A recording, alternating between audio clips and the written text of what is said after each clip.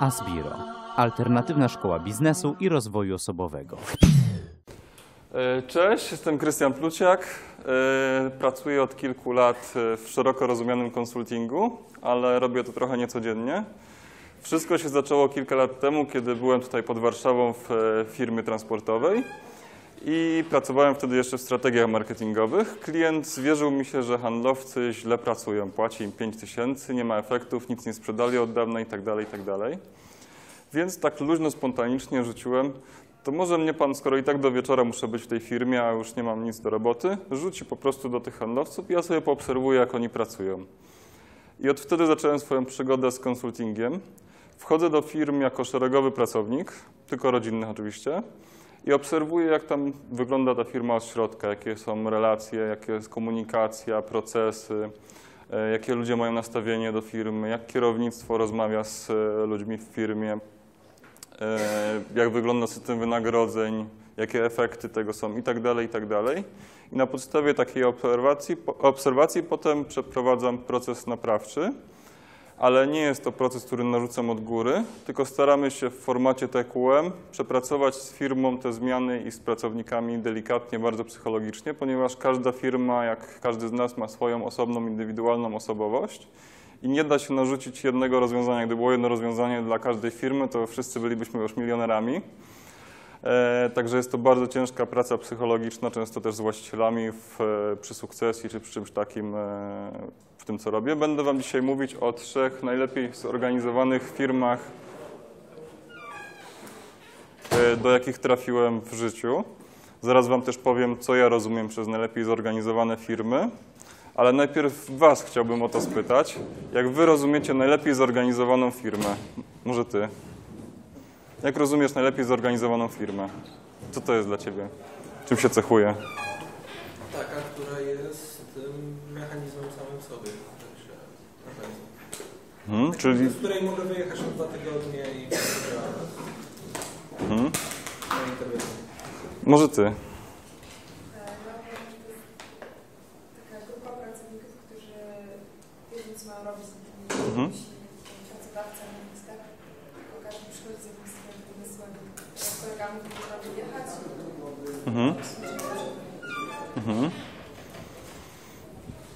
Może Pan. Tak jest. Tak jest. Mhm. Jeszcze może jedna osoba, ktoś ma jakieś, jak coś innego, jakąś inną myśl? Słucham?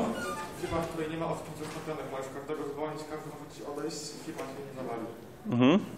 Dobrze, jeszcze jakieś, jakieś pomysły inne? Wydaje mi się, że taka firma, w której każdy umie się dogadać z sobą w swoim Czyli komunikacja, tak? dokładnie, że jest jakaś polityka powiedzmy tej firmy, Mhm. E, Mówiąc polityka, masz na myśli wartości, tak? Jakąś kulturę. Zgadza się. No i wydaje mi się też, że y, każdy pracownik wie, co robić, tak? ma swoje zadania, ale to musi tak naprawdę stale pilnować. Mhm. Jest to po prostu takim z tymi, który mówi, co ma robić, ale tak naprawdę no, przekazanie tych informacji on sam siada, wie, co zrobić, jak to zrobić, żeby było najlepiej. Y, I pojawiają się jakieś konflikty i też firmy między pracownikami też y,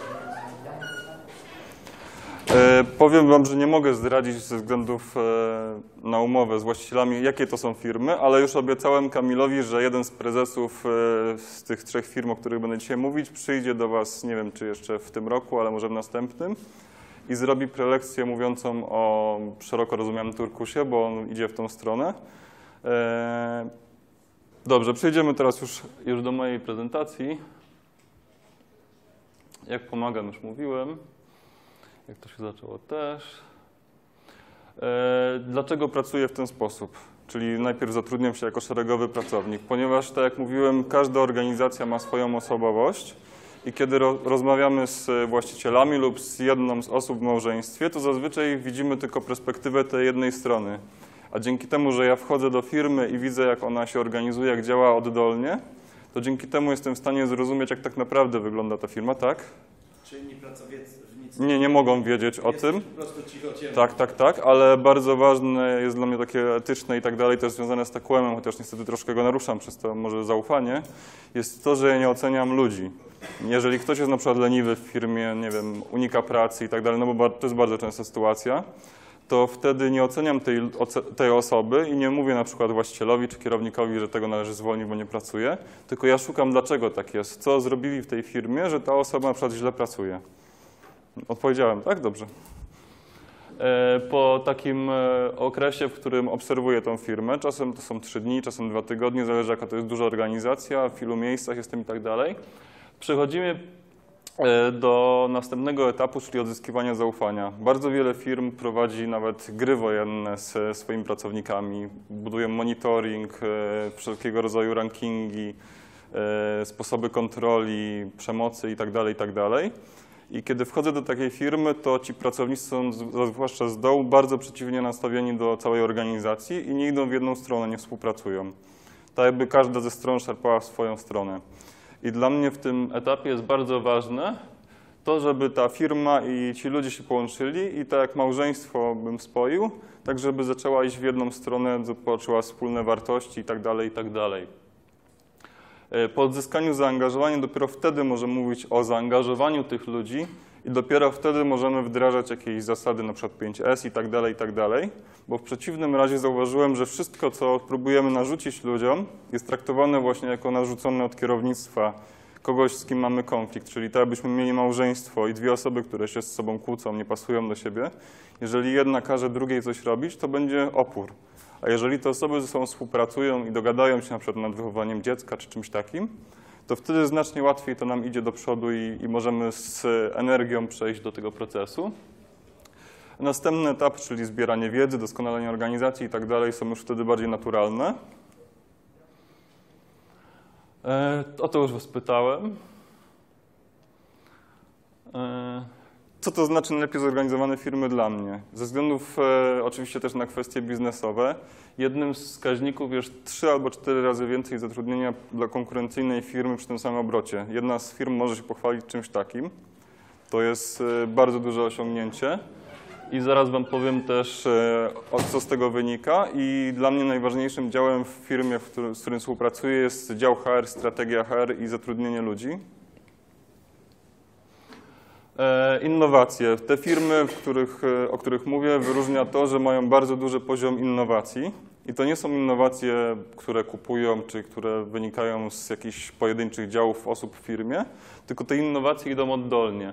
E, Dedykowane maszyny. W jednej z firm cały park maszyn jest stworzony przez ludzi, którzy zgłaszali problemy i różne konsekwencje, jakie wynikały z, z wad maszyn, które do nich przychodziły. I oni współpracują z konstruktorami i z firmami, które produkują te maszyny i mają wszystko dopasowane do swoich potrzeb. Do tego mają autorski system IT. Jedna z nich też ma najlepszy system, jaki widziałem do zarządzania produkcją, komunikacji między sobą itd. itd. E, I przewagi konkurencyjne z tego wynikają. Te firmy mogą sobie narzucić bardzo wysoką marżę, ponieważ często robią produkty i rozwiązują problemy klientów, o których innym firmom się nie śniło, bo po prostu to wynika z samej kultury organizacji i z wnętrza tej firmy. E, Wysoka marża, o tym już mówiłem. W tych firmach nie ma czegoś takiego jak e, szeroko rozumiana przemoc w TQM-ie, czyli system kar, nagród, e, system jakichkolwiek represji związanych z wynagrodzeniem, kijami, marchewkami. Modelu hierarchii też nie ma, albo bardzo się od niego odchodzi. W jednej z firm jest jeszcze tradycyjne kierownictwo, ale też idzie w inną stronę. Później będę mówić dokładnie o co chodzi. E, Lekko konkurencyjne wynagrodzenie. Te firmy starają się płacić pracownikom trochę więcej, ale uwaga, wymagają też trochę więcej, mimo że jest większa przerwa.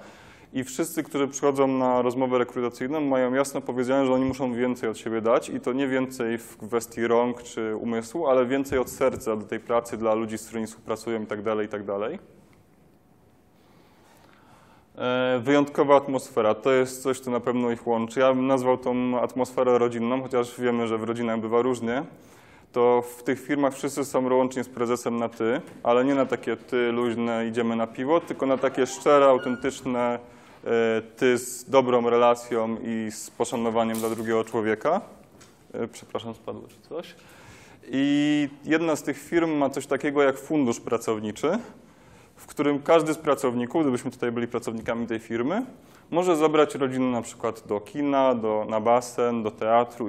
po czym informuje na drugi dzień firmę, że zabrał rodzinę w takie miejsce, ile to kosztowało bez przynoszenia paragonu, ani faktury, ani niczego takiego. I dostaje całkowity zwrot za to. O co tu chodzi? O to, że firma zależy jej na tym, żeby pracownicy się dobrze czuli i aby rodzina też ich wspierała w tej pracy, bo często jest tak, że ludzie zostają na nadgodzinnej, no i rodzą się pewne konflikty w firmach, a oni chcą, żeby ta firma bardzo dobrze współpracowała z całą strefą, takim work-life balance, y, z strefą zawodową i strefą prywatną.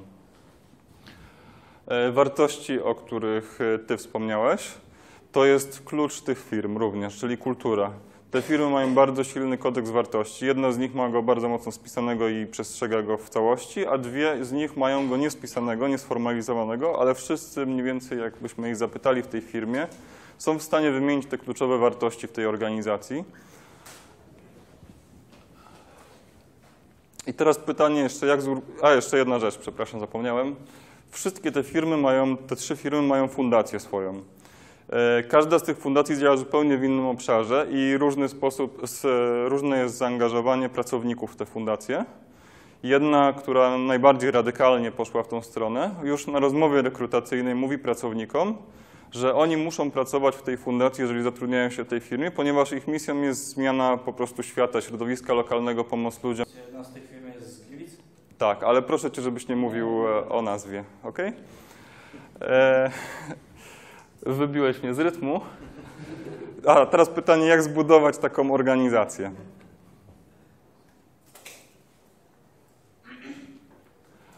E, Nie tak dawno zapytała mnie dyrektorka HR pewnej dużej firmy, dlaczego klienci, dlaczego kandydaci przychodzą tylko do pracy i po prostu chcą odrobić swoje, czyli punkt 17, wychodzą ani sekundy dłużej, nie ma w nich zaangażowania, nie ma w nich e, żadnej woli poświęcenia właśnie siebie dla tej firmy. I w e, bardzo prosty sposób można to wytłumaczyć. Ta firma w ogóle się nie interesuje tymi ludźmi. Ona chce po prostu, żeby oni przyszli, zrobili swoje i poszli do domu. Nie ma tam żadnej kultury, budowania relacji i tego wszystkiego, czego my potrzebujemy, bo my wszyscy jesteśmy emocjonalni. Nawet jeżeli uważamy, że myślimy racjonalnie, to nasze emocje po prostu są skierowane w inną stronę. I nie da się uniknąć tego aspektu psychologicznego, miękkiego w naszych organizacjach, naszych firmach i naszych, naszych relacjach prywatnych. To jest nie do uniknienia. I drugie pytanie, które można sobie zadać, dlaczego wszystkie firmy nie są świetnie zorganizowane? To jest krzywa Gaussa, bardzo krzywa, rysowana odręcznie. E, Chodzi o to, że większość firm jest po prostu przeciętna. Tak jak wszystko praktycznie w życiu, mamy ogrom ludzi, którzy są przeciętni, mamy trochę ludzi, którzy na przykład są pijakami i mamy trochę ludzi, którzy są bardzo inteligentni, prom do przodu i napędzają ten świat. I tak samo jest niestety z organizacjami. Jest bardzo mało firm, które są proaktywne, nastawiają się do ludzi, żeby zmieniać świat właśnie, żeby świetnie organizować pracę, żeby robić dobre produkty. I moją misją jest to, żeby troszeczkę kopnąć tą krzywą Gaussa i przeprowadzić ją tak, żeby jak najwięcej tych firm było świetnie zorganizowanych, bo po prostu wszystkim nam będzie wtedy lepiej. Lepiej będziemy się współpracować, będziemy lepszych partnerów i tak dalej, i tak dalej. Tak? Jak długo jako taki cichociemny jesteś? Od około dwóch lat. E, znaczy pytasz mnie o staż? Jak, jak wchodzisz do, do firmy? Jak długo? E, To zależy od firmy, tak jak mówię na początku. Czasem to są trzy dni, czasem jest jeden dzień, a czasem są dwa, trzy tygodnie. Zależy jak duża jest organizacja. Jest to też miesiąc. Nie, nie, nie. Bo chodzi tylko o podstawowe wyczucie tej firmy, a później dłuższy jest ten proces z pracowaniem nad nimi, nie? Ja nie potrzebuję dużego okresu, żeby zauważyć na przykład, jak się komunikują w tej firmie, albo że na przykład jest źle zorganizowana praca. Wiesz co, ja robię to raczej w firmach rodzinnych, które zatrudniają tak od 40 osób mniej więcej, mniej więcej, do 150 A najmniej ile miałeś? ym, pracowników, czy Yy, w najmniejszej firmie jakiej byłeś? Ile- 30 osób około. Plus sezonowi pracownicy.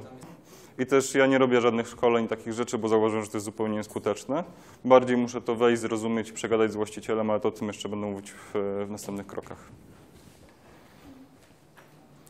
E, musimy też wybrać, czy chcemy łatwą drogę. Łatwa są kije i marchewki, no bo łatwo jest kogoś pogonić kijem, żeby zaczął pracować, a bardzo trudno jest wprowadzić organizację e, tak zwaną z Gliwic, o której nie będziemy mówić, e, którą nie będzie już nazwą ponieważ e, ta praca wymaga gigantycznego nakładu naszego i emocji, i pracy na co dzień, psychologicznej, miękkiej, zdobywania nieustannie wiedzy, nieustannej zmiany itd., itd. To jest bardzo ciężki proces i mało kto tak naprawdę jest w stanie się zdecydować i go podjąć. E, Jakie błędy popełniają przeciętne firmy? E, Są przekonani, że ludzie są leniwi i trzeba ich karać albo nagradzać, żeby pracowali. Ja się z tym nie zgadzam, ale od razu zaznaczę, że dużo zależy od tego, jakich ludzi wybierzemy, bo to my wybieramy ludzi i dlatego rekrutacja jest najważniejszym działem. Nie tak dawno byłem w poznańskiej firmie, jestem z Poznania, która kiedyś była za komuny gigantycznym producentem. E, Wchodząc tam dzisiaj zauważyłem, że nic się tam nie zmieniło. Dostałem przepustkę od ochroniarza. E, Pani, z którą rozmawiałem, miała jak urzędniczka po 60 okulary do połowy, była bardzo nieprzyjemna i w tej firmie nie jestem w stanie nic zrobić.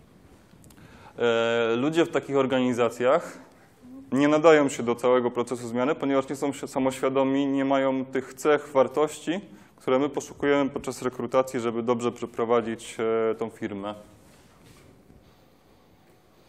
E, Brak strategii HR. Bardzo często spotykam się z tym, że nieodpowiednie osoby są na nieodpowiednich miejscach i po prostu nie pasują do funkcji, którą wypełniają. Jeżeli zatrudniamy introwertyków do działów, w których trzeba na przykład dzwonić do klientów, ja jestem skrajnym introwertykiem, 86%, także nie lubię wystąpień publicznych i nie nadaję się do dzwonienia do klientów, do umawiania spotkań i tak. Aczkolwiek jestem na przykład świetny w sprzedaży relacyjnej, czyli takich długich, e, szczerych, autentycznych rozmowach z klientami. I jeżeli taką osobę jak ja zatrudnicie na przykład w call center, czy właśnie jako handlowca, który ma dzwonić do ludzi, to ja będę mieć blokady, ja nie będę skuteczny w tej pracy, będę się w niej źle czuć. Dlatego bardzo ważne jest to, żeby wyłapywać talenty ludzi i tego też się nie robi. E, Jeszcze jedno pytanie od e, pani z HR, bo bardzo często z nimi współpracuję. E, Bardzo dużo kandydatów jest sfrustrowanych na rozmowach, ponieważ wszędzie dostają te same pytania. Nie są pytani o to, jakimi są ludźmi. Nie mówię tu o pytaniach wprost oczywiście, tylko pyta się ich o podstawowe rzeczy, które i tak są wypisane w CV. Te rozmowy są nużące, często są bardzo nieefektywne, jeżeli chodzi i o firmę, i kandydata. I powodują frustrację. Tu akurat e, kandydat był bardzo sfrustrowany i wyraził bardzo agresywnie swoją potrzebę, ale tak naprawdę myślę, że temu człowiekowi po prostu chodziło o to, żeby ktoś dotknął jego wnętrza i szczerze z nim porozmawiał, a nie pytał o te tendencyjne rzeczy, o które pyta każda inna firma. I pytania te często też powodują, że my musimy się zachować w jakiś sposób i dopasować do tej firmy i założyć jakąś maskę i opowiadać e, to, co ich zadowoli. A ja bym chciał zupełnie od, na rozmowach rekrutacyjnych i poszukiwaniu ludzi odejść od tego. E, Zwracamy na tych rozmowach uwagę tylko na umiejętności. Jeżeli wejdziemy na pracuj.pl czy na jakikolwiek inny portal i przejrzymy sobie oferty pracy, to nie znajdziemy żadnej firmy, żadnej oferty, prawdopodobnie, która odnosi się do naszych wartości, o tym, co, co mówiłeś, czyli do tej kultury i do tego, co jest najważniejsze moim zdaniem. A myślimy wszyscy o umiejętnościach. I jaki tu się rodzi problem? Dlaczego ja i te firmy też, zwłaszcza ta z Gliwic, ale te inne też już do tego doszły, szukają ludzi po wartościach. E, ponieważ jeżeli zatrudnimy kogoś, na przykład operatora jakiejś maszyny technicznego i szukamy tylko umiejętności, to ta osoba może być na przykład opryskliwa, e, źle się komunikować z innymi i rodzić bardzo dużo problemów wewnętrznych w zespole, jakościowych, w obsłudze klienta itd., itd.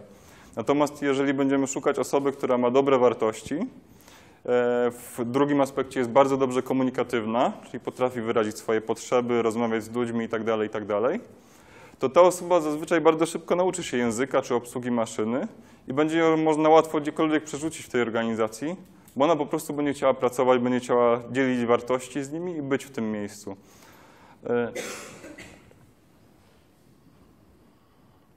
To jest to, o czym właśnie mówiłem, czyli najpierw patrzymy w takiej organizacji na wartości ludzi, którzy przychodzą, potem na to, jak oni się komunikują i dopiero na końcu na umiejętności. Oczywiście musimy wyważyć te rzeczy, bo jeżeli mamy kandydata... Słucham? Coś, coś... Nie, dobrze. E, coś słyszałem. E, jeżeli mamy kandydata, który ma troszkę gorsze wartości, ale na przykład ma świetne umiejętności, no to wiadomo, że wybierzemy na przykład programistę, który lepiej koduje od tamtego, ale musimy patrzeć od tej strony, czyli od strony wartości. A mógłbyś podać jakiś przykład, na przykład jak na rozmowie sprawdzasz daną wartość? Ja nie prowadzę rozmów, Ja też mam coś No to możecie podać jako pierwsi, ale zaraz powiem też. E, no, jedną z tych firm znam od środka, byłem tam i wiem no, Mhm. dokładnie jak to wygląda. Mam też- też tam znajomych jej śledzę i e, oni na rozmowach kwalifikacyjnych przy, przy, przywiązują dużą wagę do działań charytatywnych. To jest Mm, To jest to, o czym mówiłem To jest wcześniej. jedno z głównych pytań, które zadają tak naprawdę i e, czy, czy pytałem się kandydata tak naprawdę, czy, czy brał w ostatnim czasie jakiś udział w akcjach charytatywnych, czy, czy stawiałem też bardzo na jakby proaktywność i chcą, żeby, żeby ci pracownicy wychodzili sami z, z inicjatywami. Głównie chodzi im o zmienianie lokalnej społeczności, czyli na przykład pomaganie rodzinom, które są w trudnej sytuacji, nie wiem, w remoncie mieszkania, czy, czy w zorganizowaniu, nie wiem, jakichś obozów dla dzieci, tego typu rzeczy. E, no z tego co zauważyłem, to u nich właśnie to, to podejście e, związane z działaniami, z działaniami charytatywnymi jest, jest na pierwszym. Znaczy by było przynajmniej jakiś czas temu. Pewnie Ja sobie pozwolę rozwinąć co powiedziałeś. Załóżmy, że na przykład mamy firmę produkcyjną i twoim, twoją chęcią, twoją wartością jako właściciela jest to, żeby ludzie sobie pomagali i współpracowali. Czyli wtedy myślisz o takich osobach, takich cechach i takich rzeczach, które one mogą robić, które są związane z pomaganiem, czyli na przykład właśnie praca w fundacji. I jeżeli będziesz szukać wtedy ludzi, którzy na przykład pomagają właśnie innym, działają charytatywnie, robią jakiś wolontariat i tak dalej, to prawdopodobnie te osoby będą pasowały do tej wartości i tej potrzeby, którą masz i musisz ją wybadać na rozmowie, ale nie w formie zamkniętych pytań albo czegoś takiego wprost, no bo wtedy robimy ten błąd, który mówiłem wcześniej, czyli wymagamy złej znaczy dobrej odpowiedzi, ale niekoniecznie zgodnej z prawdą, tylko długich, szczerych rozmowach. Jeżeli bardzo długo z kimś rozmawiamy, to kandydat raczej nie jest w stanie nas oszukać, nie wiem, przez 2-3 godziny różnej rozmowy i zawsze znajdziemy jakieś niespójności albo przestaniemy go lubić przez jakieś zachowanie i tak dalej, i tak. Także nie wiem, czy odpowiedziałem dobrze? Okej. Dobrze, ja Znaczy- mam jakieś swoje metody, Mhm. więc z ciekawości do sama. Mhm. A ty? Chciałam powiedzieć, ale to też mam jakieś tam szkolenie typowe ze szkołą językową i em, poza tym, że jakby kandydatów, lektorów też sprawdzam jakby metodycznie, to też na koniec prowadzimy taką rozmowę i też zadajemy takie pytania otwarte. Ja się pytam po pierwsze w tych miejscach, organizacjach, w których pracowali, co uważają, że było takie dobre, a może być Mhm. przykładem, a co na przykład byłoby do zmiany. Wejdę ci słowo. Fajnym pytaniem jest na przykład, gdybyś był kierownikiem, to na co byś zwracał uwagę, gdybyś zatrudniał kogoś i zazwyczaj osoba nie jest przygotowana i wtedy zaczyna właśnie mówić o tym, co ona w sobie widzi dobrego, nie? Okej. I y, jeszcze pytam się potem, jak już teraz będziesz wybierał, będzie Pan, Pani wybierał miejsce pracy, to co byłoby dla Pana ważne Mhm. i po prostu dość mocno zwracam uwagę, jakich słów używają, bo to najczęściej jak ktoś mówi cały czas ludzie, ludzie, jak ktoś mówi atmosfera, ktoś mówi relacje, ktoś mówi porządek, poukładane, wsparcie, to, to najczęściej już widzę z perspektywy, że to no, ma później odzwierciedlenie, tak, że y, czuję mniej więcej, co jest Mhm. dla człowieka ważne. Bardzo ważna jest intuicja, nie?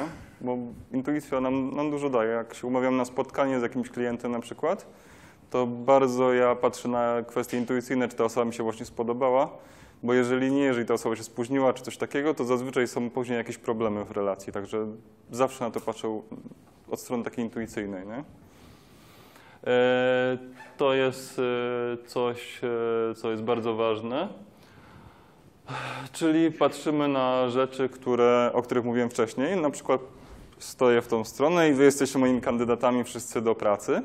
I ja mam jakieś swoje takie spektrum właśnie wartości, to w stronę, w którą patrzę, nie? Czyli tam jest właśnie na przykład ta współpraca, o której tutaj mówiliśmy, a z tyłu są rzeczy, które mi nie pasują. Więc tych kandydatów, którzy są tutaj na środku, to ja was biorę od razu, bez patrzenia. A jeżeli jesteście gdzieś tutaj na skraju, to ja patrzę, jakie to są wartości, umiejętności i tak dalej, czy wy pasujecie do mojej organizacji i czy my będziemy się po prostu w niej lubić. Jeżeli ktoś jest tutaj za mną, przepraszam, to niestety nie macie szans e, na pracę u mnie w firmie, ponieważ po prostu nie pasujecie do mojej kultury i nie chciałbym mieć w swojej rodzinie was, bo uważam, że coś nie pasuje. Może fajnie będzie zaraz iść sobie do hotelu na piwo i pogadać, ale do pracy już na przykład nie czuję, żebyśmy razem współpracowali.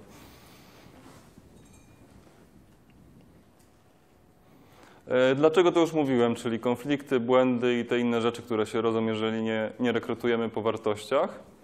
I teraz y, bardzo ważna kwestia. Charakter jest bardzo trudno zmienić. Jeżeli mamy na przykład, powiedzmy, programistę, który ma zły charakter, to myślę, że łatwiej jest y, wydać pieniądze i wysłać na półroczny kurs kogoś na juniora, niż zmienić jego wartości i pracować z nim. Dlatego jeszcze raz podkreślam, jak ważne są te wartości i myślę, że z samych rodzin wiecie, jak trudno jest zmienić kogoś nawyki, przekonania itd., itd. Więc uważam to za walkę z wiatrakami i łatwiej jest od razu znaleźć tych ludzi po wartościach. E,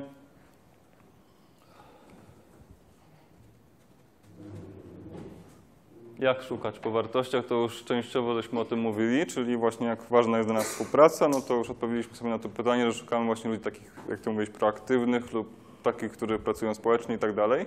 Wartości oczywiście musimy wszyscy sami określić. E, Jeżeli ktoś mnie poprosi o napisanie misji, wizji firmy, kultury i tak dalej, to ja tego nie mogę zrobić, bo to tak samo jakbyś e, na przykład poprosiła mnie o wyznanie miłości dla swojego powiedzmy narzeczonego czy męża. Nie jestem w stanie tego zrobić, bo ja was nie znam.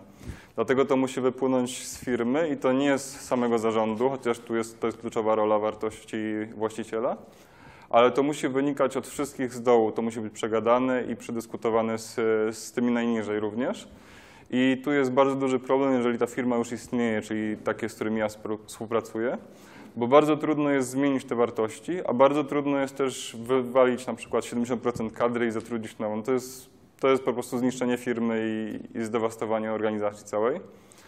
E, dlatego ja mogę pracować tylko, tak jak mówiłem wcześniej, nad tymi kwestiami związanymi z zaangażowaniem, żeby od, odtruć tych ludzi w stosunku do rela, relacjach między sobą i żeby zmienić tą strategię na przyszłość. Ale nie jestem w stanie tego zrobić, jeżeli firma już istnieje i, i jest na rynku jako jakiś duży twór, no bo po prostu to jest nierealne. E, Długa rozmowa rekrutacyjna, o tym już mówiłem. E, Bardzo ważną cechą, która łączy te firmy, jest to, że osoby, które przychodzą, albo mają przynajmniej szkolenie związane z całą organizacją, obojętnie czy to będzie pani, która będzie tam sprzątać, czy to będzie ktoś z marketingu, albo po prostu muszą osłużyć w tej firmie miesiąc, najdłużej z tych firm e, to dwa miesiące, w różnych działach firmy, albo przynajmniej na produkcji. E, Jedna z firm polega, znaczy jedna z firm działa na takiej zasadzie, tylko na produkcji musimy przerobić. I pytanie dlaczego? Po pierwsze musimy się zgrać jako zespół i poznać tych ludzi, nabrać do nich szacunku i tak dalej, i tak dalej. Bo często są jakieś tam konflikty, że ktoś jest gorszy, na przykład pracuje na produkcji od nas z marketingu, my jesteśmy mądrzejsi, fajniejsi i tak dalej, i tak dalej. A z drugiej strony musi też poczuć, jak powstaje ten produkt, jak wyglądają procesy w tej firmie. Łatwiej będzie się wtedy, na przykład, jeżeli będzie jakiś problem e, związany z klientem, zadzwonić na produkcję i porozmawiać z kimś, co się stało tam e, wcześniej w jakimś, jakimś, jakimś operacyjnym elemencie. E, jednej z tych firm też zespoły muszą zaakceptować kandydata, czyli po przejściu tego procesu rekrutacyjnego wysyłamy takiego kandydata na dzień próbny, powiedzmy, i on pracuje sobie z ludźmi i oni określają na przykład, czy im się dobrze z nim współpracowało, czy dobrze im się komunikuje, czy oni się rozumieją i tak dalej, i tak dalej. E,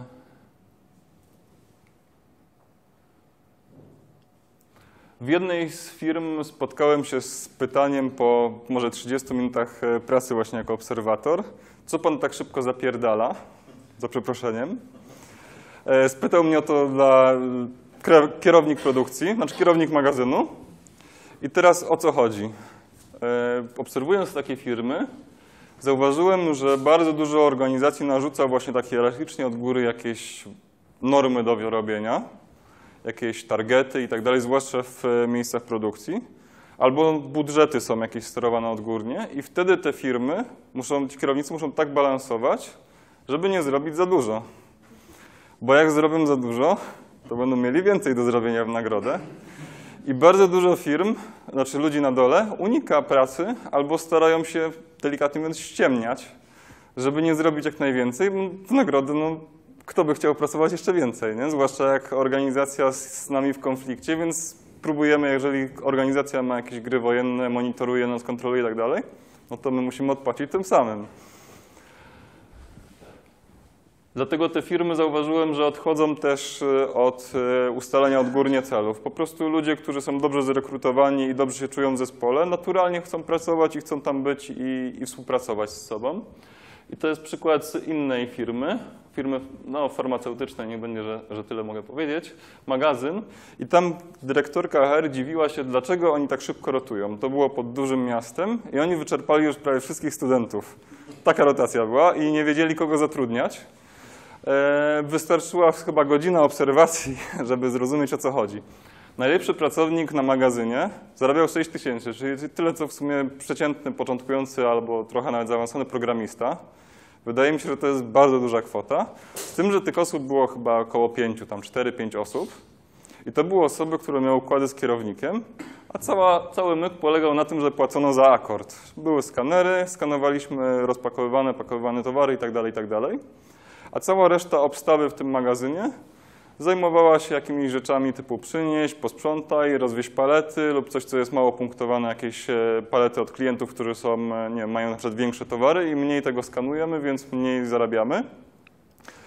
E, Sytuacja wyglądała tak, że niektórzy wyszarpywali sobie te dobre palety z rąk, a te gorsze wiadomo jak traktowali klientów i wiadomo jaki towar później do nich docierał. E, Najgorsi pracownicy, przynajmniej w te trzy dni chyba jak tam byłem, to jeden zarobił 4,35 jakoś, bo oni to mogli łatwo sprawdzić przez ilość e, na akordzie nabitą mniej więcej ile zarobią z tego. E, Nie trudno się domyślić, że ci ludzie uciekali z tej firmy i odchodzili w inne miejsce. Mimo wszystko było bardzo ciężko przekonać kierownictwo, że ten sposób motywacji nie jest najlepszym sposobem na zmotywowanie tych ludzi. Tam w sumie wystarczyło ujednolicić e, system wynagrodzeń, no bo te osoby, które miały układy u kierownika, to nie była jakaś nadzwyczajna zdolność, która uniemożliwiała innym zrobienie czegoś takiego.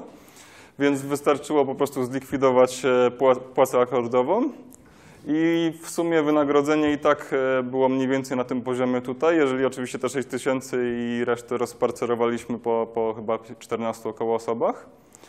E, Co dalej?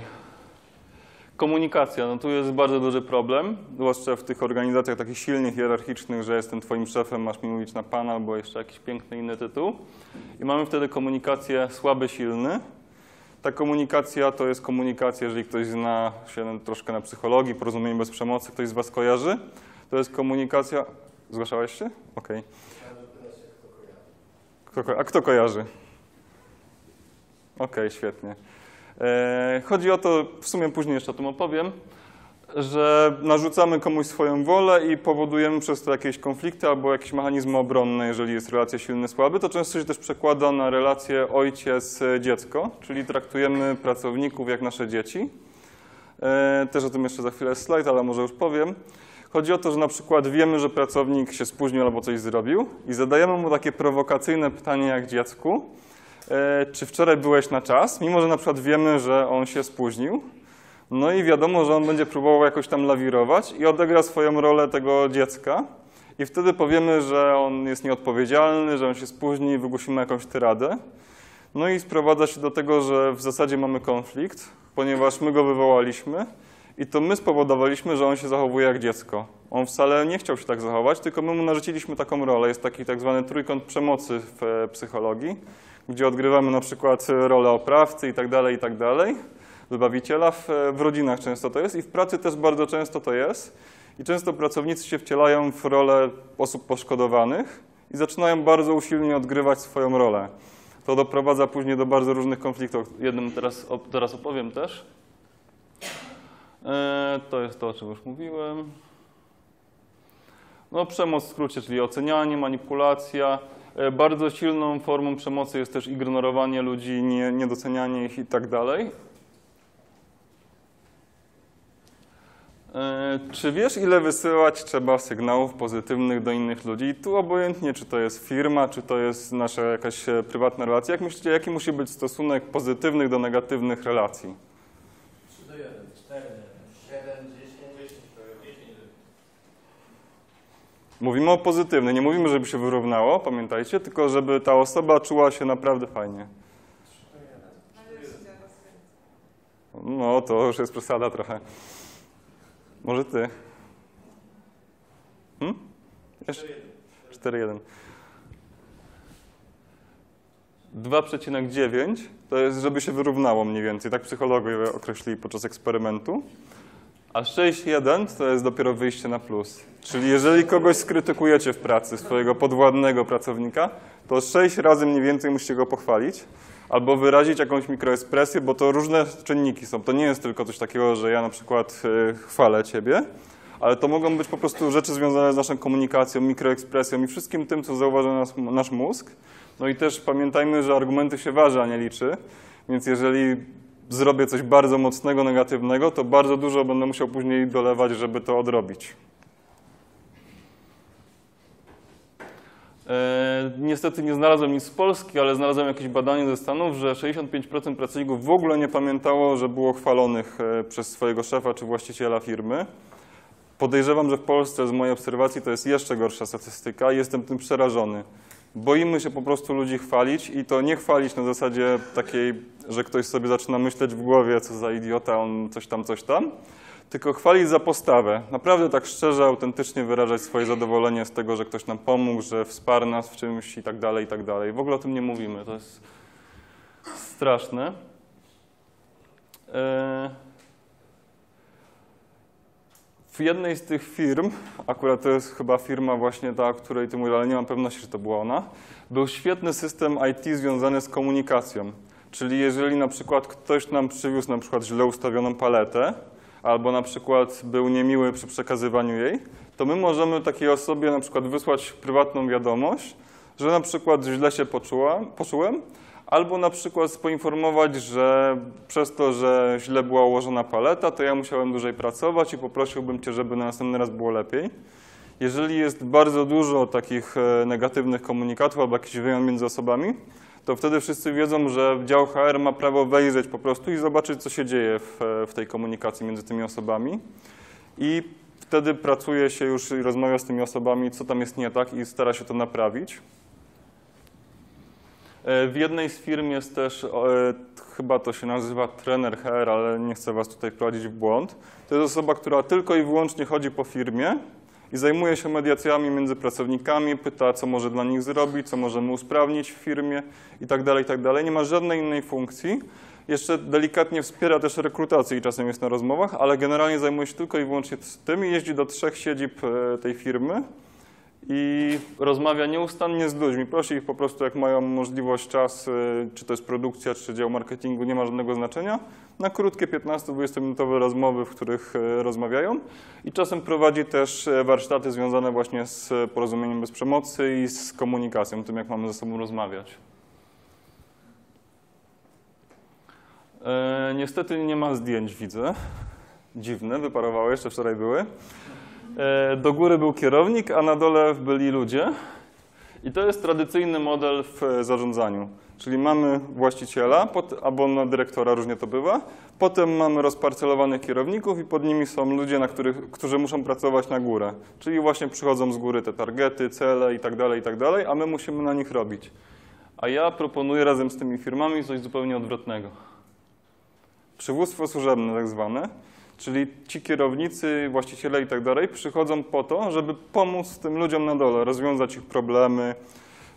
S- Jeżeli jest coś nie tak, na przykład dajmy na to, pracownik znacznie obniżył na jakiejś maszynie swoje wyniki, to zamiast od razu ich karać albo robić coś pochopnie, to wystarczy z nim porozmawiać. Być może na przykład ma problemy w domu i gorzej się czuje i przez to źle pracuje i może organizacja może mu bez problemu w tym jakoś pomóc. Być może na przykład maszyna się zepsuła i mu się zacina, on na przykład bał się to zgłosić swojemu kierownikowi. Może być bardzo dużo różnych przyczyn związanych z tym. A my często takich pracowników po prostu karzemy albo wywieramy jakąś presję na nich i tak dalej, i tak co jest całkowicie nieprzemyślane i najpierw warto zawsze rozmawiać z ludźmi. U, tu nie ma całego zdjęcia, a niestety nie mam pojęcia, co to miało być. A, już wiem. E, Tu było zdjęcie stada wilków. Nie wiem, czy wiecie, jak wygląda stado, które przechodzi przez jakiś niebezpieczny teren. Kiwałeś, że tak? M- Opowiesz nam?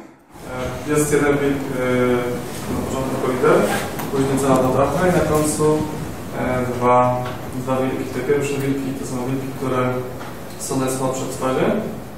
Najstarsze. Najstarsze stadzie, tak.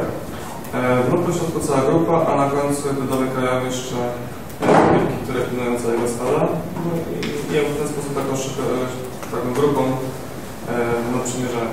Tak jest. Na początku zazwyczaj idą najstarsze, najbardziej doświadczone osobniki, które wytyczają tempo i trasę. Potem idą te agresywne, które w razie czego mogą obronić. Na środku idą e, zazwyczaj młode i tak dalej samice. Potem znowu idą te agresywne i na końcu lub na początku jest e, lider, zazwyczaj bardziej z tyłu się trzyma, który pilnuje całości, jest w stanie zareagować i doskoczyć kiedykolwiek coś się stanie. I o to właśnie chodzi w przywództwie służebnym, żeby nie iść bez ślepo z przodu i kazać z tyłu wyrabiać e, jakieś normy, tylko żeby pchać ich do przodu i pomagać im. Jak szukać liderów? Najpierw, kiedy wchodzimy do firmy, to jesteśmy na etapie poznania. Kiedy ją zakładamy w sumie też. Czyli nie mamy zazwyczaj zielonego pojęcia o tym, jak wygląda to stanowisko pracy i musimy się po prostu tego nauczyć. Zaczynamy robić jakieś pierwsze rzeczy, powiedzmy przy jakiejś maszynie czy, czy przy czymkolwiek i nic poza tym nie znamy, nie umiemy, nie potrafimy. Potem przechodzimy do kręgu, który nazywamy usamodzielnieniem. Czyli potrafimy już dobrze obsługiwać tą maszynę, ale nadal nie wychodzimy z żadną inicjatywą, nie robimy nic więcej.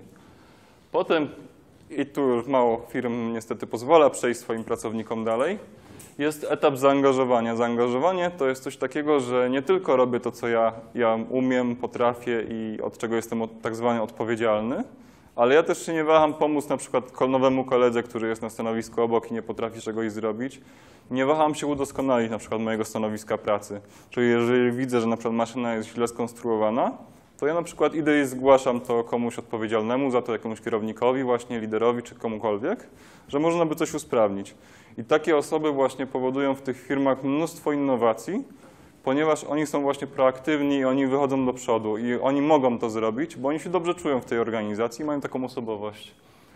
A dopiero potem są osoby, które inspirują innych ludzi i oni dopiero mogą zostać liderami w tak zwanym właśnie przywództwie służebnym. I to oni odpowiadają, oni, ich główną cechą jest szacunek w takich firmach. Słucham? Daniela znasz. Tak jest. No dzięki niemu właśnie mam e, ten krąg, bo on, on mi opowiedział i rzeczywiście jak obserwowałem te firmy, to to jest bardzo ważny element. To, aby ludzie przeszli wszystkie po, po kolei kroki, bo dopiero potem, na tym ostatnim etapie, ja zyskuję szacunek ludzi. Bo w większości firm, do których trafiam, ludzie po prostu nie szanują swoich szefów. Zapytają ich na przykład o obsługę jakiejś właśnie maszyny, rozwiązanie jakiegoś problemu i oni często się nie znają, spychają to i tak dalej, i tak dalej. A w przywództwie służebnym chodzi o to, żeby ten lider potrafił rozwiązać te problemy techniczne albo przynajmniej zająć się nimi, dać wsparcie. I tak samo problemy miękkie związane właśnie z konfliktami w zespole, z, z jakimiś problemami wynikającymi na przykład z relacji z klientami i tak dalej, E, I jedna z tych firm sprawdza to też chyba z tego co wiem przez częste ankiety. Druga z firm bardzo często sprawdza to przez tą panią, o której mówiłem z HR-u, czyli takiego trenera i osobę, która mediuje i rozmawia z ludźmi. Nieustannie monitorują, czy tacy liderzy i te osoby mają szacunek u ludzi. E, Jeżeli taka osoba straci szacunek, to pytają dlaczego, co się stało, czym zawiniła i bardzo mocno pracują nad tym, żeby ci liderzy byli silni, ponieważ ci liderzy przekazują ten kręgosłup wartości i ten kręgosłup moralny firmy i muszą go podtrzymywać. Jeżeli będziemy mieli jednego lidera, który jest takim zepsutym jabłkiem, to prawdopodobnie to się zaczyna rozprzestrzeniać wtedy na cały dział i całą firmę. Tak jest. E, Czy masz może metody na takich szefów, którzy mm, jakby właśnie wywierają presję na pracowników, mimo że pracownicy na przykład y, mm, mają, y, na przykład tłumaczą im jakieś, nie wiem, opóźnienia, załóżmy, że coś Mhm. tam jest opóźnione z, z, z winy tego szefa, Mhm. braku reakcji, braku komunikacji i tak dalej. Czy miałeś może takie, takie ciężkie przypadki takiego zadufanego w sobie, zapartego? Będę mówić potem o przykładzie jednym właśnie firmy, z którą, u której byłem dwa tygodnie temu i wtedy odpowiem dokładnie na Twoje pytanie. Dobrze? Przypomnij mi jeszcze, bo na pewno będziesz wiedzieć, że to jest ten moment. E, a właśnie, nie, to jest ten moment. Spi spirala przemocy. E, miałem kierownika. W zasadzie sytuacja wyszła na samym końcu, bo ludzie z całego działu oni poszli do właściciela i powiedzieli, że się zwalniają. A ten o co chodzi? E, okazało się, że jeden z pracowników, delikatnie mówiąc, spóźniał się i to było nawet po godzinę. Przedłużał swoje przerwy i generalnie nie wyglądało to dobrze, jeżeli chodzi o współpracę i pracę tego, tego pana. Ale co zrobił kierownik? zaczął wprowadzać zwaną spiralę przemocy właśnie, czyli mechanizmy kontroli, nadzoru, kar, kijów, marchewek. Zrobił jakiś ranking spóźnień dla wszystkich w tym dziale, potem zaczął karać e, wszystkich albo przynajmniej tą osobę, ale na innych też wywierał presję. Zrobiła się bardzo niemiła atmosfera i oni po chyba dwóch miesiącach mniej więcej już tego nie wytrzymali i stwierdzili, że zwalniają się całą grupą. O co tu chodziło? To był młody chłopak, bo to była firma, która bardzo szybko się rozwinęła i zatrudniała zazwyczaj kierowników z wnętrza siebie, a że to byli studenci, to no po prostu on nie potrafił zarządzać ludźmi do końca. I chodziło o to, że on nie potrafił po prostu rozwiązywać inaczej problemów. Miał bardzo duże takie problemy e, w sferze powiedzmy bardziej emocjonalnym niż, e, ni- niż innym. Nie potrafił się dobrze komunikować i prawdopodobnie być może na przykład wyniósł to z domu. Rozwiązywał problemy przez przemoc. Bardzo często jest tak, kiedyś zauważyłem taką sytuację, że, znaczy kolega zauważył taką sytuację, że jego dzieci się bawiły i jedno z dzieci w pewnym momencie, kiedy coś w klockach nie wyszło, rzuciło z całej siły tym w ten sposób i rozwiązało w ten sposób problem. Na drugi dzień, kiedy siedział znowu sobie na kanapie i dziś się bawiły, to dziewczynka młodsza miała tą samą sytuację i tak samo rzuciła klockiem i rozwiązała ten sam sposób problem. I właśnie te dzieci w ten sposób się nauczyły w pewien sposób rozwiązywać problemy, czyli coś mi nie idzie, rzucam tym. I być może ten gość nauczył się na przykład właśnie w ten sposób wcześniej rozwiązywać problemy i dzięki właśnie głębokiej takiej psychologicznej rozmowie można do tego dojść. Nie wiem, czy można go zmienić, czy nie, bo to każdy przypadek jest inny, ale możemy dojść do przyczyny, dlaczego tak jest i możemy próbować przepracować z tą osobą i pokazać jej inne drogi, bo ta osoba na przykład nie znała w ogóle takich narzędzi właśnie TQM i tak dalej, e, porozumienie bez przemocy i tym podobne rzeczy. Więc to jest proces i każdy przypadek jest indywidualny, więc nie mogę Ci odpowiedzieć konkretnie, co zrobić, ale bardzo często są takie sytuacje właśnie. E, Bardzo ważna kwestia dla mnie to jest poszukiwanie sensu. Ta firma, o której nie możemy mówić, ma bardzo mocny sens i też e, szuka ludzi, którzy podzielają ten sens, tą misję, wizję, właśnie metody działania itd. itd. E, Dwie inne firmy nie mają tego tak mocno sprecyzowanego, ale same zauważyły też wcześniej, że to jest bardzo ważne i kluczowe i zaczynają nad tym od dawna pracować i nad tym, żeby ludzie po prostu w firmie czuli sens swojej pracy. E, Możecie mnie zabić, ale nie pamiętam niestety w tej chwili z głowy takiego eksperymentu na klockach. E, Więc związany był z tym, że płacono w centrum handlowym jakąś tam kwotę i ją pomniejszano o 30 centów za ułożenie klocków. I eksperymentator w pierwszym przypadku wyrażał jakiś tam pomruk czy jakieś zadowolenie i proponował następne ułożenie następnej, e, następnej konstrukcji, a tam odkładał na bok. I wtedy bardzo dużo ludzi przechodziło i układało to dalej. W przypadku, kiedy ten eksperymentator rozkładał te klocki, które ktoś ciężko złożył i proponował ponowne złożenie, praktycznie nikt nie godził się na ponowne ułożenie. Dlaczego? Pozbawiono sensu pracy. I tak samo robimy niestety nieświadomie bardzo często w firmie. Na przykład zawalam weekend, żeby przygotować dla Was tą prezentację dzisiaj w firmie. Szef mówi, że niestety prezentacja się nie odbędzie, bo nie ma na to czasu czy coś takiego. I w ogóle nie doceniam tej osoby, wtedy ignoruję jej pracę, jej poświęcenie i jej zaangażowanie. I to jest jeszcze gorsze niż skrytykowanie ludzi, bo to odbiera im serce do pracy i, i do, do nas jako ludzi. E, Pytania właśnie, po co tu jesteśmy, dokąd zmierzamy i tak dalej, są bardzo ważne dla organizacji. I one wcale nie muszą być związane, bo często jest trudno coś takiego zrobić, na przykład dla firmy produkcyjnej, z korem, czyli z produkcją. To mogą być sytuacje, znaczy to mogą być elementy, które spajają firmę i są zupełnie z tym niezwiązane, na przykład właśnie jak pomoc e, lokalnej społeczności czy coś takiego. Coś, co spoi ludzi w wspólnej wartości i coś, co wyjdzie od środka. Czyli jeżeli mamy już taką organizację i się okaże, że dla niej na przykład jest ważny sport, to możemy pomyśleć o misji firmy związanej z sportem, wspieraniem sportowców, robieniem jakichś wyjazdów związanych z tym itd., itd. Czymś, co ich spoi nie tylko w firmie, ale też na takiej płaszczyźnie bardzo emocjonalnej. E, Wartości wypisane tylko na ścianach. No niestety bardzo często się spotykam z tym, że ludzie w ogóle nie mają pojęcia, jaka jest właśnie misja, wizja, sens firmy, po co ona istnieje, po co oni tam są, poza tym, żeby zarobić i wyjść o 17 i, i o niej nie myśleć już jak się da. I jednym z takich kluczowych elementów dla mnie jest e, szacunek dla ludzi. E, Szacunek w bardzo, bardzo szerokim rozumieniu. To też oczywiście ma firma, o której nie możemy mówić. E, I ten szacunek przekłada się na bardzo dużo różnych aspektów, takich jak na przykład wspólne na przykład warunki pracy. Często przychodząc do jakiegoś magazynu czy jakiejś firmy produkcyjnej, pracownicy są na jakichś krzywych ryczkach, muszą się schylać i bolą plecy, żeby przy stole coś zrobić. Ym, Po prostu chodzi o takie miękkie kwestie związane z, zasadami pracy i tak dalej, i tak dalej.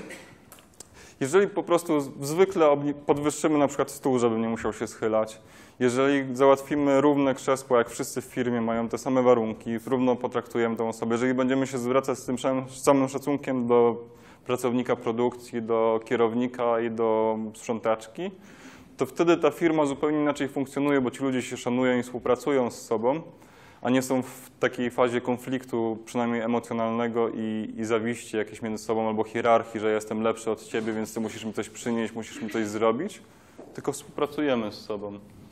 Jak wyglądamy z czasem? Przepraszam. Ojejku, jesteśmy w połowie. E, Ważnym elementem jest też e, samopoznanie i świadomość. To jest nawet jeden z moich kluczowych takich elementów e, w pracy z ludźmi, zwłaszcza z właścicielami. Często nie znamy swojej osobowości właśnie i trafiamy w złe miejsca lub zatrudniamy ludzi w złe miejsca i wystarczy ich przenieść. Na przykład może ten kierownik, o którego pytałaś, świetnie by się znalazł w zupełnie innej funkcji w firmie i w zupełnie innym miejscu. Słucham? A to prezes to bardzo ciężko mnie coś zrobić, bo ja właśnie jednym z głównych aspektów, jak zaczynam działać z kimś, to jest prezes. Jeżeli on nie ma dobrych wartości, to ja tam nic nie zrobię, więc przykro mi. Jeżeli świadomo się dochodzi właśnie do tego, że nasze wartości są zupełnie inne od tych firmowych i prezesa, to najlepiej zmienić środowisko dla naszego higieny i zdrowia psychicznego oczywiście. Y, Jakby oceniam według według klienta mojego, tak? aha. Więc tutaj Hmm. Jakieś przetłumaczenie chyba nie do końca, bo też widzę, że nie do końca pracownikom, e, pracowników szanuję pod Mhm. kątami, tak staram się jeszcze coś tam tłumaczyć, wytłumaczyć, Mhm. ale nie. Nie, zazwyczaj nie da się zmienić charakteru, dlatego mówiłem o tej rekrutacji, nie? Jeżeli kierownik czy właściciel nie szanuje ludzi, no to bardzo ciężko będzie cokolwiek zrobić, dlatego unikam raczej takich środowisk, nie? E, Rywalizacja, no to jest coś podstawowego, czyli wszelka forma rywalizacji przekreśla wszelką formę współpracy. Jeżeli robimy jakieś rankingi i tym podobne rzeczy, to ludzie po prostu napędzają się na siebie albo przeciwko organizacji, albo po prostu próbują zdobyć na przykład jakąś nagrodę czy coś takiego i w ten sposób manipulujemy ich zachowaniem. Ale oni nie spajają się, żeby współpracować i spełniać e, misje firmy czy realizować jakieś operacyjne rzeczy. Po prostu oni chcą dla siebie dobrze. Dlatego też nie za bardzo są w tych firmach systemy premiowe nie? i Tak. Tak, to wszystko się spaja. To, co mówię, każdy punkt mniej więcej spaja się do drugiego i to jest mniej więcej taki core w tych trzech firmach, który no, spaja je, nie? No, zresztą to jest część turkusu, nie? że tak naprawdę nie za bardzo jest... W Turkus nie do końca, bo to jest samozarządzanie, nie? A te firmy nie są, znaczy tak przynajmniej mi się wydaje, nie są jeszcze na takim etapie, że same zarządzają. jeszcze nie, jeszcze nie, ale wiem, że jedna z nich do tego na pewno dąży. Mhm. A te, te dwie inne nie dążą do turkusu, raczej do zarządzania procesowego takiego mm, bez hierarchii, ale nie jako turkusu, nie? Ta, o której ja mówię i którą Mhm. znam, też współpracuję blisko z profesorem Blichy, który Mhm. powiedzmy jest jakiś tam Mhm. prekursorem turkusu w Polsce. Nie? Tak, tak UEM-u na pewno. No, Mhm. E, No, nastawienie przeciwko kolegom z pracy, no to już mówiłem. I skutecznie powstrzymuję przed dzieleniem się wiedzą, czyli właśnie jeżeli ja mam jakąś dobrą praktykę jako sprzedawca, jako ktoś, kto szybciej na przykład od kolegów produkuje coś, e, lepiej się dogaduje na przykład jako logistyk z partnerami jakimiś do przewiezienia czegoś, to jeżeli jest system taki premiowy czy mocna rywalizacja, to w moim interesie nie będzie na przykład, żeby się z tobą podzielić i powiedzieć, jak możesz być tak dobry jak ja i zabrać to, co moje. A w systemie, w którym jest to premiowane, wtedy bardzo chętnie się dzielimy. Jak to może być premiowane na przykład? Bo już mówiłem, że nie ma e, premii w normalnym znaczeniu, czyli jakichś tam wynagrodzeń od czegoś. Jeżeli ktoś z zespołu jest lepszy w czymś, na przykład mam lepszego sprzedawcę, to możemy zapłacić tej osobie więcej na takiej zasadzie, że ona jest dodatkowo trenerem i ona zajmuje się dla całego zespołu wsparciem i szkoleniami, żeby oni byli tak samo dobrzy jak ta osoba. To jest jedyna, jedna z jedynych e, form, jakie uznaję, na przykład, żeby ktoś na jakimś stanowisku dostawał większe środki. Czyli dzielę się wiedzą i wspieram współpracę i organizację. E, Motywacja z serca, no to wiadomo, bo możemy, możemy motywować się rękoma, czyli robimy coś umysłem, ale najważniejsza jest motywacja ta trzecia sercem, czyli ja naprawdę się angażuję w to i nie chcę wyjść punkt 17 z sali i skończyć szkolenia, tylko ja chcę dotrzeć do tych ludzi podczas tego szkolenia. Jeżeli są jakieś pytania, chcę zostać z nimi i tak dalej. Tak jest we wszystkich aspektach działania takich organizacji. E, w jednej z firm też e, był problem z e, bałaganem w, po prostu w miejscu pracy i wprowadzili takie narzędzie jak konkurs dla sprzątaczek, tak oczywiście roboczo to nazywam. Chodziło o to, że osoby, które najlepiej sprzątają, dostają jakąś tam premię. Pierwsze tam, dwa tygodnie chyba się dobrze sprawdzało, bo ludzie rzeczywiście poczuli, że można więcej zarobić, ale potem wszyscy zaczęli tego unikać i ta firma się dziwiła, dlaczego tak jest. A jest tak dlatego, że w w sposób motywacji korzyściami e, wymaga coraz większych impulsów. Czyli jeżeli ja na przykład dam Tobie jakieś środki za coś tam i Ty masz to dla mnie zrobić, to prawdopodobnie będziesz potrzebował, tak psychologicznie to działa, coraz większej stymulacji, będziesz chciał coraz więcej, aż w końcu powiesz, że to pierdzielisz i koniec. I jesteś uwolniony od tego, bo już tego nie lubisz. I tak samo działa system w firmie. Jeżeli wprowadzamy jakieś nagrody za coś, to będziemy musieli być świadomi, że musimy zwiększać impulsy, a lepiej mi się wydaje iść w formie takiej godnościowej motywacji i współpracy i dobrego klimatu. E, tak jest, tego już. Może zostawię te ostatnie sekundy tutaj, a jeszcze opowiem o tym. Wędrówki ludów, a potem jak macie jakieś pytania, to jeszcze, żeby chociaż chwila była. E, w jednej z tych firm, do których przychodziłem, Zauważyłem coś takiego jak wędrówki ludów i potem mi się spoiło to z obserwacjami w innych firmach. Chodzi o to, że na przykład nie mam nożyka i muszę przejść się do stanowiska, gdzie są nożyki, które jest gdzieś daleko, a po drodze spotkam jeszcze ciebie, ciebie, ciebie, toaletę i różne inne rzeczy. E, to jest bardzo powszechne w praktycznie każdej firmie, w której, jest, w której jestem. Chodzi o zasadę 5S, czyli tam sortowanie miejsca pracy, żeby wszystkie narzędzia były pod ręką i tak dalej, i tak dalej. I teraz e, w tej firmie chcieli, jak im o tym powiedziałem, że to zabiera mnóstwo czasu pracy, są gigantycznym kosztem i tak dalej, żebym to wdrożył natychmiast.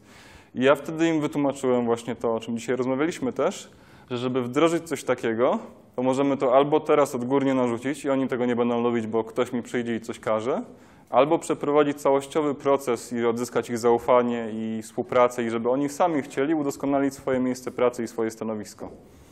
E, Ja dziękuję za część oficjalną, nie dojdziemy do końca, ale jak macie jakieś pytania, to chociaż 5 minut na jakąś dyskusję.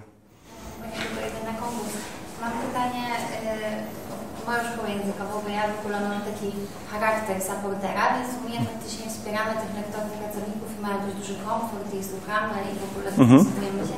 Ale mam trochę problem w drugą stronę, że o ile w takich standardowych warunkach mamy na to przestrzeń, yy, tam jak mają Mhm. tam sprawy swoje. Chodzi o rozproszenie?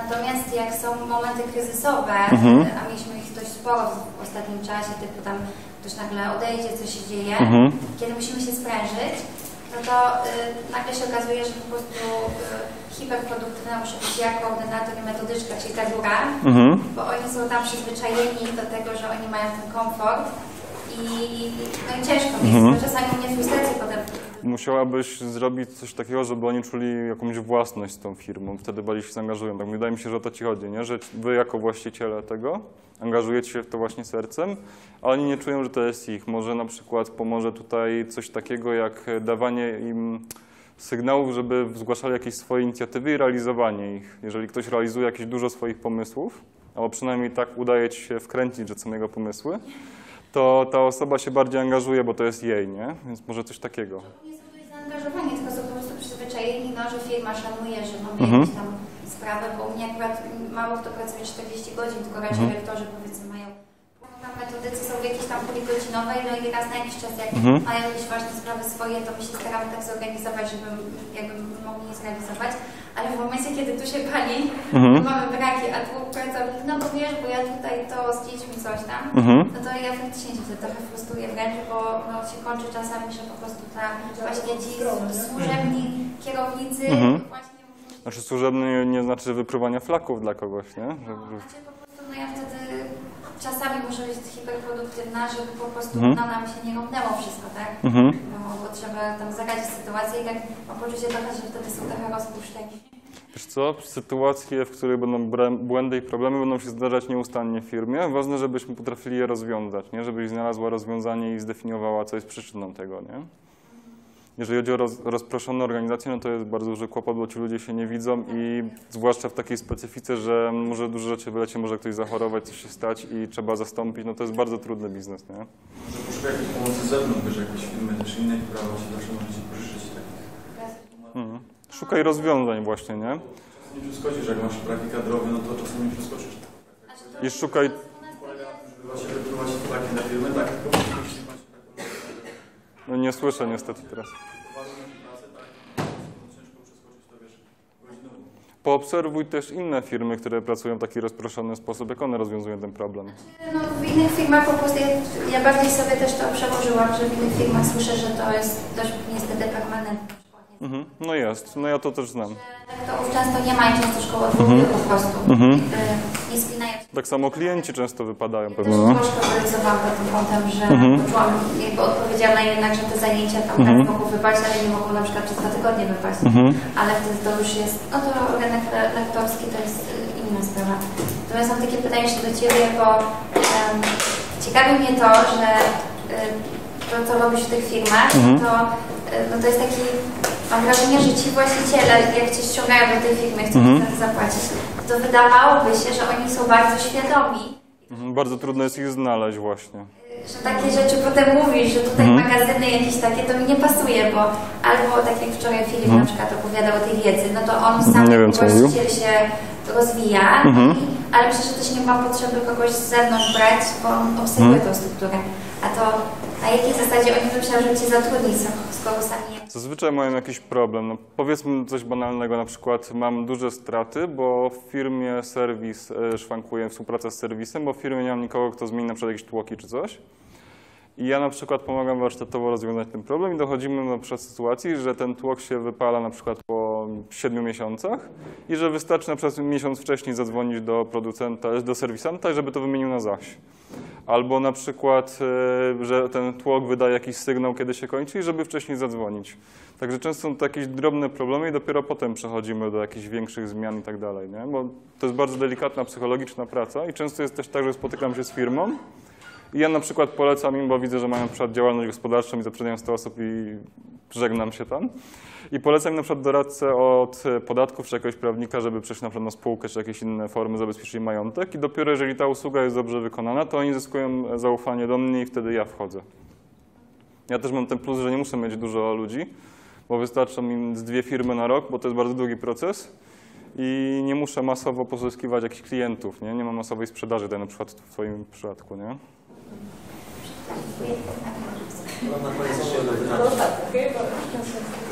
Powiedziałeś, że pracujesz z firmami z 40 a 150 osób.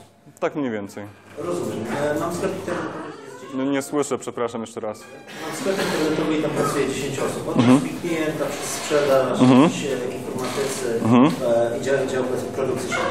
Mhm. Wiem, że coś jest nie tak i powiedzmy sobie, jak mogę to sprawdzić? Oprócz rozmowy z każdym, jakieś rady, coś takiego? Wiesz co, nie mam pojęcia, jak możesz to sprawdzić, bo nie znam tej sytuacji, nie? To jest... Nie wiem, czy mnie rozumiesz, nie? Motywacja i, i zawsze jest dla nich za dużo pracy. Czy pakują przysłowiowo 300-400 paczek dziennie, czy pakują 40 i tak się nie wyrabiają czasowo. Czy tak samo jest z mailami. Mają 200 maili do odpisania, czy 20? Zawsze to kilka Być może zawiodła Cię rekrutacja. To, o czym mówiłem. Bo ja nie jestem w stanie zrobić tych zmian w firmie, której są źli ludzie. Nie? Najważniejszy jest człowiek w każdej firmie i nic nie zrobisz, jeżeli są źli ludzie. Może rzeczywiście robi te rzeczy, o których mówiłem, czyli jakieś takie delikatne gesty, żeby mi łatwiej było pracować, że doceniasz i tak dalej, i tak dalej. Może to coś zmieni. Ale jeżeli źle rek- zrekrutowałeś ludzi, no to, to będzie toksyczne, nie? Bo jeżeli ja przychodzę do firmy i tam marudzą na przykład, że, że im się źle pracuje, że szef jest taki, że oni chcą unikać pracy, kiedy idziemy do domu, tego się nie da czasem wytrzymać. Chociaż gorsze jest słuchanie disco polo na, w magazynie. to jest najgorsze, z jaką się muszę mierzyć, to ten, to no ciężko jest z tymi ludźmi coś zrobić i oni zarażają innych tą, tą, tą sytuacją, tą, tą emocją. Nie? Na przykład w takich firmach świetnie zarządzanych często jest tak odwrotnie, że z kolei przychodzą osoby na przykład, które właśnie donoszą na przykład na innych i te osoby się szybko tam wypalają i nie pasują, nie? I one odchodzą same albo są zwalniane właśnie przez to, że powodują konflikty. E, I jeżeli masz sytuację taką, że jest dużo tych złych ludzi, no to, to ciężko jest coś zrobić. Nie musisz powoli na przykład próbować ich wymienić właśnie. No nie wiem, no nie jestem tam, nie? Ale myślę, że tutaj, tutaj mogło cię albo jakieś ognisko zapalne, albo po prostu rekrutacja mogła cię zawieść, nie? Bo my często tak działamy po prostu i nie myślimy o tej rekrutacji. To jest takie miękkie dla nas, zwłaszcza te wartości. A w przypadku tego, co obserwowałem w tych wszystkich firmach, w których byłem i z którymi rozmawiałem, pracowałem, to, to jest najważniejsze, nie? Zawsze zaczynam od działu HR, nie? Dziękujemy bardzo. Dzięki.